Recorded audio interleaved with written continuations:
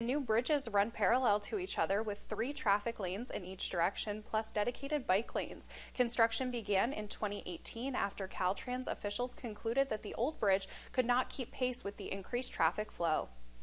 And to stay up to date with the latest local news, weather, and traffic, you can download our app, the KYMA app, for free in your App Store today.